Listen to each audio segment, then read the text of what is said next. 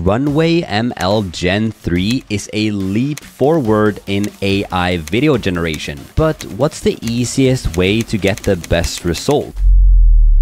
From their new text to video to image to video, camera motion, preset, and even lip sync. I'm gonna go through them step by step to show you what I found after months of playing with it. So by the end of this video, you can be a Runway ML expert. First, to get started, just go to runwayml.com and as you can see, there is quite a few generations on the screen that you can take a look at, all generated through Gen 3. Now, all we need to do to get started is to click the Get Started button, click on Sign Up for free, just enter your email address, sign up with Google, sign up with Apple, or a single sign on, and we're now on the inside. As you can see, there are tons of things that you can do inside a Runway ML, but what we're going to focus on in this video are the specific video tools. And first up, text to video. So I'm just gonna click on this text slash image to video and we land in the prompting studio. I believe most of you will have the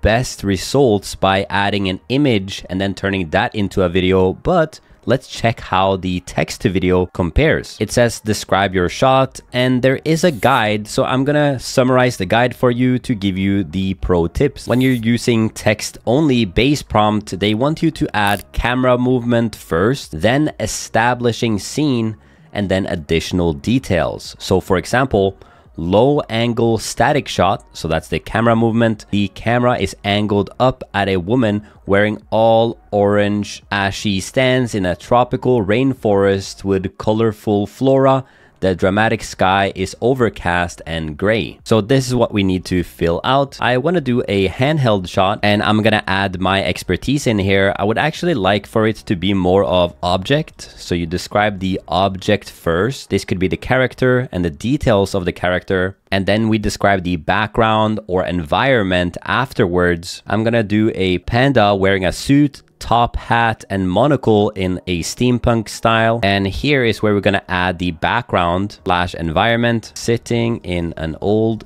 chair in a 80s retro office. And I'm gonna add more camera movement here. So camera zooming in on a human like panda on his phone. I kind of want to create this gangster like panda. So this is the prompt that I'm going to use. Now you see that you have a bunch of different examples in the bottom as well. These are mostly templates and presets that you can use to actually get the thing that you want. I'm gonna keep everything blank here and show you that there are settings as well. If you've paid for Runway, you can click on remove watermark. You see that the resolution will be 720p. And also we have the seconds here. I'll use five seconds because normally we don't really need more than that. And I'll click on the generate button one time and then another time. So we get two different iterations and then we just have to wait. I'm really excited to see how this is gonna go. We got one of them back back and then we get a generation blocked. Apparently there was something wrong with that, but let's take a look at the first result here. There we go. Let's see.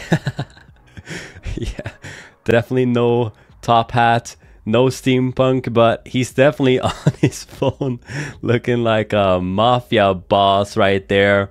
Now, this is one of the reasons why you definitely would love to do the image to video because take a look at this. This was kind of what I was looking for or imagining in my head and this is what we got. So let's jump to the next chapter, image to video. So I am using Flux point one and I'm using it through Krea.ai. You can use it completely for free. And the big benefit of using image to video is obviously you can how to use AI to scrape the data from any website in minutes. Add this to your business to get data more valuable than gold. Step number one, just go to app.zyte.com and create an account. You can sign up with Google or GitHub. Now that you're on the inside, they have scraping template, so we don't have to start from scratch. But before you can activate it, you just have to go to step number two, create a new project. Click on this create project button. Now just give it a name and either deploy your own web scraping code to the cloud or we can use Zyte's AI powered spiders. Which is a no-code solution. Just click on select. As you can see, all will happen within the Scrapy cloud and the Zyte API, which will protect you from getting banned from most websites and click on create project. Once you've done that, you're ready to start step number three, create your spider. So first we can select between the templates, e-commerce or add your own template so you can create your own. We're going to use the e-commerce one. So just click on select, then write our name and we select a URL that we want to scrape. I want to use the Fjällräven domain that has some of the coolest backpacks and outdoor clothes. So I'll just copy the URL, paste it into the spider, select the max request, and to customize it, you can do extraction source and crawl strategy. And now all that's left to do is save and run. As you can see, it's now started scraping and in just five minutes, all of this juicy data is mine. I just can't believe how quick and easy it is to start and scale web scraping with AI. So check out zyte.com. Next chapter, image to video. So I am using Flux 0.1 and I'm using it through Krea.ai. You can use it completely for free. And the big benefit of using image to video is obviously you can do a lot of image generation so you don't spend all your credits trying to find one that actually works with text to video. My favorite generation by far was this one. So I'm going to download that and I'm going to upload it directly in here. And then I want to show you the prompting tips inside of the guide. Here it says from image plus text-based prompt, you want to focus on describing the movement you'd like in the output rather than the content of the image. You might try the following prompts if using an image that has a featured character. Subject cheerfully poses her hands forming a peace sign. So to simplify it, I would like to do camera movement plus subject behavior. And there is also something to note that you can use this image as a first frame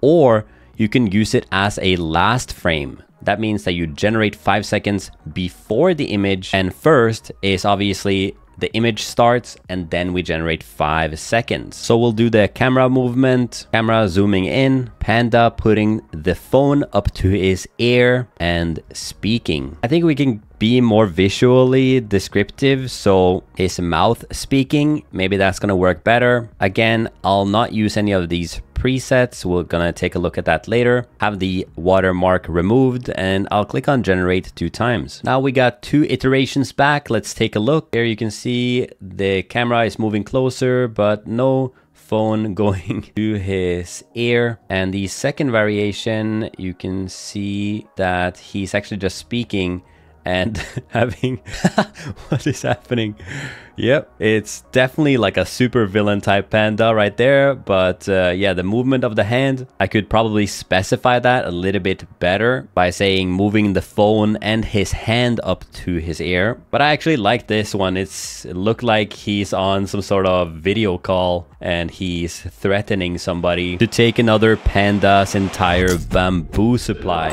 But one of the things that you might have noticed is that they actually cost a lot of credit. So one thing that we can can do is to go to Gen 3 Alpha, click on it, and we have Gen 3 Alpha Turbo. This is faster, use a little less credit, but let's jump to the next chapter, the preset. So as you can see here, we have surreal levitation that basically creates a crazy prompt for us. If I click on macro cinematography, I actually have to delete it before. It's basically just a prompt. So I can keep clicking and I will keep getting very special prompts that the runway team has found to be one of the best prompts to get great motion. So let's find a good one and test it out. I'm gonna actually try this surreal levitation. It starts with an extreme wide angle establishing shot, shot from low angle level looking up at into the sky at sunset hours. And then if I click on this, it basically selects the entire thing. They want me to add a subject, for example, a plastic bag, a shiny orb, or a goat. I want to try to do some sort of floating island and first obviously generate an image like that. Yeah, this looks pretty good. I'll just try a little bit more. Okay, we're getting somewhere. Yeah, there we go. I really like this variation. This one is also really cool. Actually, I want to do this one because it's more cinematic. So I'll drag the image in, change the subject, a floating island, and then it wants me to describe the style here in the style of cinematic. It gives this extreme perspective 3x speed. So let's try that. two generations. And remember that we're using Gen 3 Alpha Turbo. So the quality is going to be a little bit less, but we're not going to use as many credits. That went really fast, just about 15 seconds or so. Let's take a look at the first generation. Okay, you can see the floating island is looking really cool. Definitely the quality is a little bit more contrasty, but I really like that the sky above is kind of moving really fast as well as the waterfall obviously just pushing water down in the sky. Let's take a look at the second generation. As you can see moving closer to the island. I love the perspective change that we're zooming into this island. Kind of a really cool establishing shot if there were things to happen in this island. And you can see the clouds and everything zooming in. And I think this is where we have the 3x speed going through and the perspective change. So that's really cool. There's a lot more presets that you can test. You can click on this button as well, where you have a bunch of different examples, including handheld, high angle, macro cinematography, night portraits, even slow motion. And you can even create your own custom ones as well that you can use as your own presets if you've created something before and you want to templatize it to use it again and again. But you might have seen this button in the bottom called lip sync. So that's what I want to show you next. So I'm going to try to generate a woman on stage. I quite like this generation. Gonna be interesting to see if it's going to do the hands. So once you have an image that you actually want to lip sync, you can click on this lip sync video tool now we can drag the image in here and also if you have a video, you can upload that. Now it only works if you have a detected face. So now we can start typing or upload audio to generate lip sync video. I'm to show you both. So I've written the text here and then you can see we need to select a voice. Here they got Maggie, Hey there, Maggie here. I appreciate you coming all. Okay, We got Jack. I'm ready to head off on an amazing adventure. Hi there. I absolutely love telling stories. Okay, there's a lot more as well that we can pick between. Let's do Katie, and then we can click on generate. Here it's our result, it's about 10 seconds. Let's take a look. The police is now using robot dogs to fight crime. We sent it into a high risk house yesterday, and it did great until it started sniffing their laptop's USB stick. That's horrible.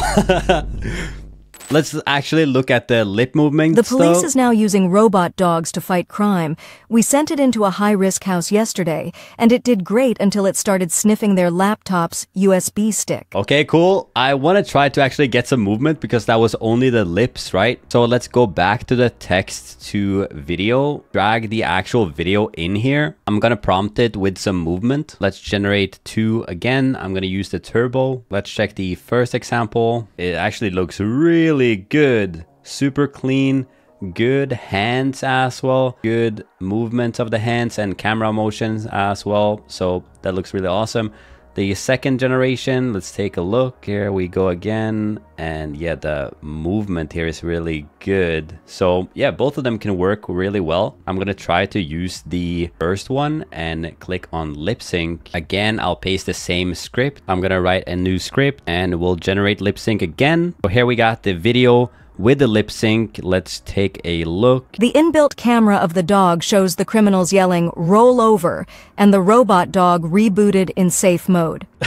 So it seems like we did about five seconds and then we actually do kind of a boomerang that plays the clip in reverse again. But let's take a quick look The at the inbuilt camera lips. of the dog shows the criminals yelling, roll over, and the robot dog rebooted in safe mode. Yeah, the lip movement is fine. It's not perfect. If you don't really look that closely, it could pass with flying colors. And this is obviously just using the turbo model. If you use the better version, it will be even better. So you're now seeing text to video, image to video, presets and camera motion and lip sync. So I'm wondering, what are you going to use it for? Drop a comment down below. Also, if you enjoy videos like this and want to use AI tools to become more productive, check out our private community in the link in the description. Thank you so much for watching and I'll see you in the next one.